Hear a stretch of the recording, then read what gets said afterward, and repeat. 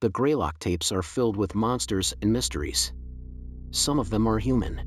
Others maybe not so much, but there's one entity who keeps reappearing at every major story moment. I'm sure you've seen them before. This entity seems to be the main antagonist of the Greylock tapes as they are always there during the most tragic moments of the story. But what exactly do we know about them? That's the question we're going to be exploring today. This is everything we know about the masked entity in the Greylock tapes. The first appearance is speculation, but one many people may have missed. Tape 2 opens with someone recording their drive towards what we can assume to be Mount Greylock. They arrive at their destination and get out of the car, seemingly retracing someone else's steps. As they are recording, the camera keeps glitching out to a different point of view of whatever our camera person is looking at. But based on the way the camera keeps distorting, we can assume that it's the masked entity causing this jump between point of views, as this is the same distortion that happens when the miners set up hunting cameras in tape 6. The next time we see the entity is in a blink and you'll miss it moment. During the attack on the town, we get jump scared by a glove reaching for the window we're standing in and bloody faces start to flicker on the screen. Mixed in these faces is the masked entity, hinting towards the entity to be involved in the attacks.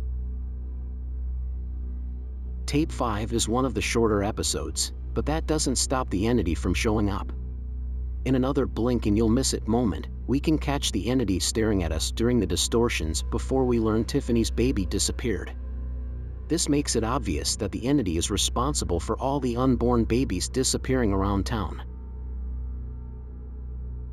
Next up is tape 6, where our entity has the most screen time out of all tapes.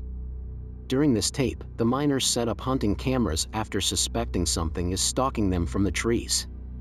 We can see that, whatever is stalking them, is going through all stages of a thought form becoming physical, as described in episode 3. The first detection is just an electrical disturbance, as we don't actually see anything on camera.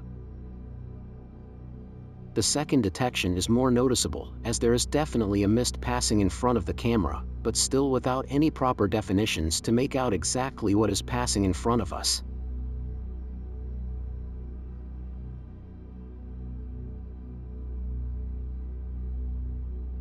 The third detection starts out with nothing on screen at first, but after some fog appears, we can clearly see a silhouette of a human entity take form and walk out of frame.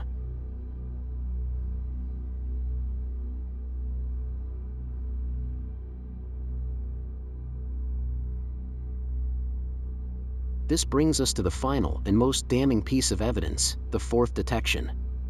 As soon as the replay starts, we can very clearly see the face we're familiar with by now, just staring at us right through the camera. If there was any doubt on whether this has been the same entity as in previous encounters, should this tape clear those doubts right up? This brings us to tape 8. During this tape we learn a few new things about the entity when it emerges from Arnold's basement and goes on the hunt for him. At first we can hear the entity mimicking voices of different people, but by the things being said we can assume that these are the victim's final words before getting caught by the entity.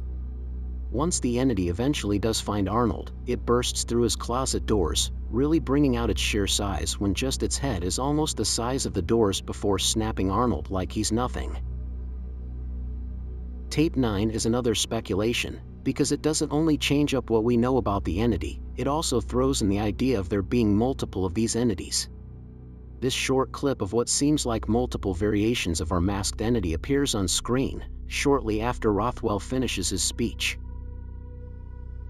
Tape 10 will be our final encounter for now, as this is the last time the entity is shown as of producing this video. This encounter is another speculated one, as we only have our imagination guiding us when Tiffany is describing the monster to the doctor. The strongest connection we have to this being the same entity is when Tiffany describes it as very tall, just like the miners did when they felt like they were being stalked.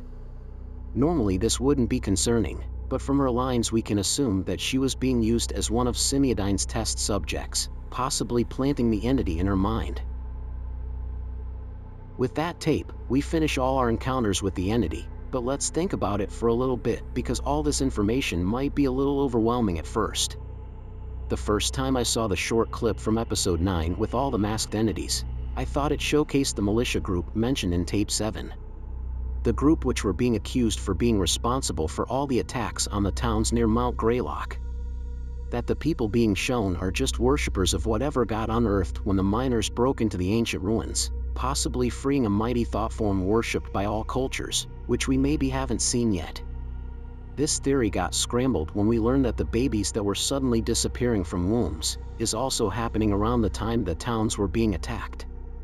With it being impossible for a human to just make a child disappear in the way showcased in Tape 5, in combination with all the attacks on the towns as showcased with Don Wright and Arnold Rivers, I think it's fair to assume the entities being shown are all thought forms. It's obvious we still have a lot to learn when it comes to the Greylock tapes. But what do you all think? I'd love to hear all your theories in the comments, or maybe even a reason why my final theory doesn't work. I'm really invested in this series and I'd love to hear any video requests or personal theories in the comments below. But most of all, thank you for watching and don't forget to like and subscribe.